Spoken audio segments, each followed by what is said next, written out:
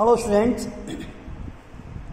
myself Krishnotar Pandey from S B N inter college हम आपके समक्ष आज क्लास सेवेंथ का इंग्लिश लिटरेचर में लेसन नंबर थ्री जो कि एक पोएम है कविता है इसके बारे में बताएँगे।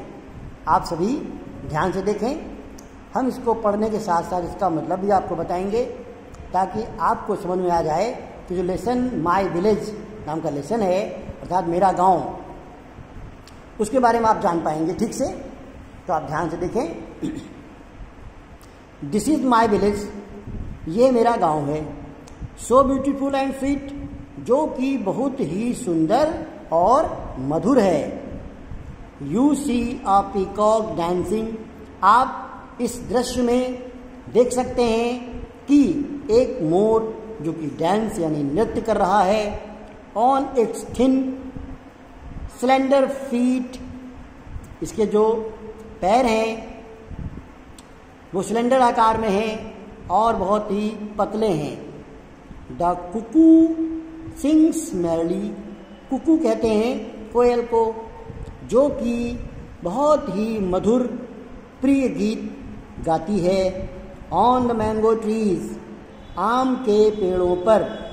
चिल्ड्रेन प्ले हैप्पली बच्चे बड़ी खुशी खुशी में खेलते हैं। इन द इवनिंग ब्रीज शाम के वक्त ठंडी ठंडी हवा बहती है। फॉर फ्रॉम द नॉइस दूर आवाज़ से काफ़ी दूर।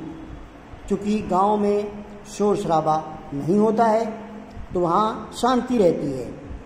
And smoke of the city शहरों में धुआँ आदि प्रदूषण होता है, जो गाँव में नहीं होता है। इससे आप मुक्त रहते हैं।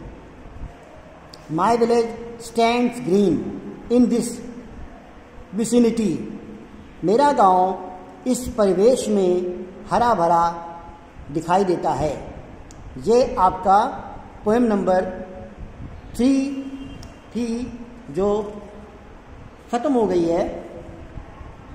कविता के पढ़ने के बाद कुछ बातें एक्सरसाइज यानी कि अभ्यास संबंधित होती हैं, जिन्हें आप देख सकते हैं।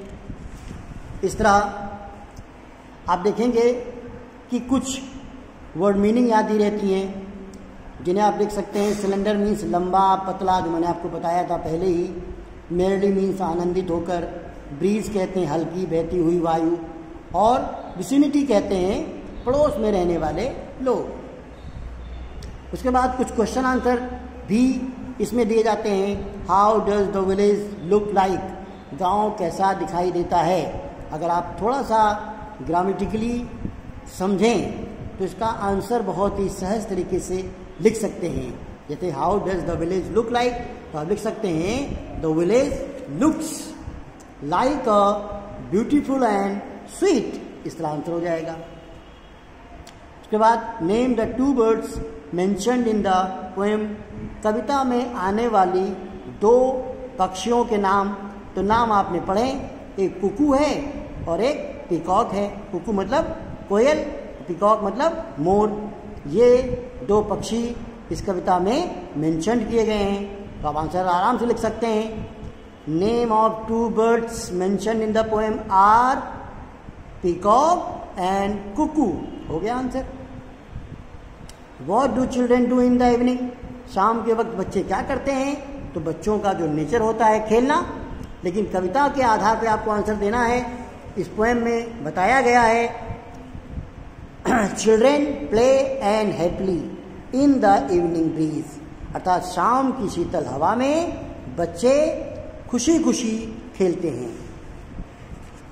इसी प्रकार आंसर लिखते वक्त आप लिख सकते हैं the children play happily evening in the breeze what is the village far from अर्थात गाँव से या गाँव से क्या दूर है?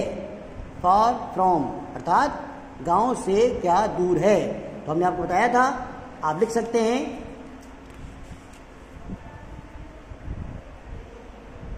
Smoke noise far from the village अर्थात इसमें आप देखेंगे नॉइस और स्मोक ये दो चीज़ें ऐसी हैं जो गाँव से दूर हैं।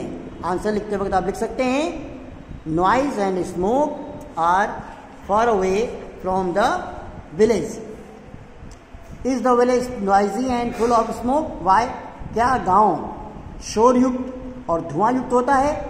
क्यों?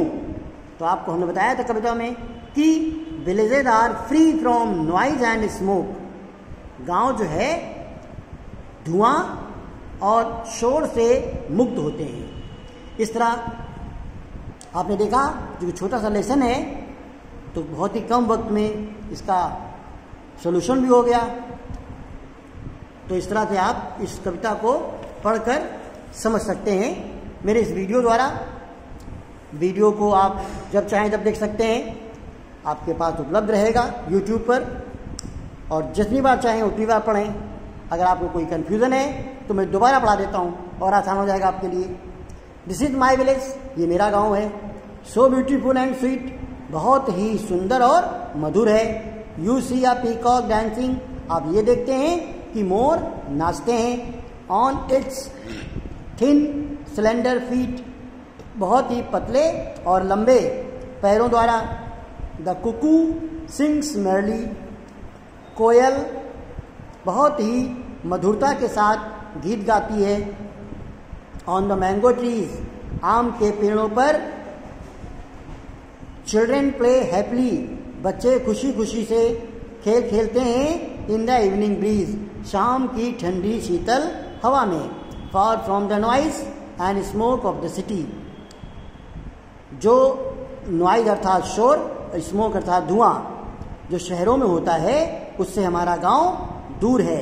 My village stand green in this vicinity मेरा गाँव का जो पड़ोसी हिस्सा है, वो बहुत ही हरा भरा है। इस तरह से आपको हमने दोबारा बता दिया। अब ये वीडियो केवल रिकॉर्ड रहेगा। अब जब चाहेंगे इसको पढ़ सकते हैं, देख सकते हैं। Okay thank you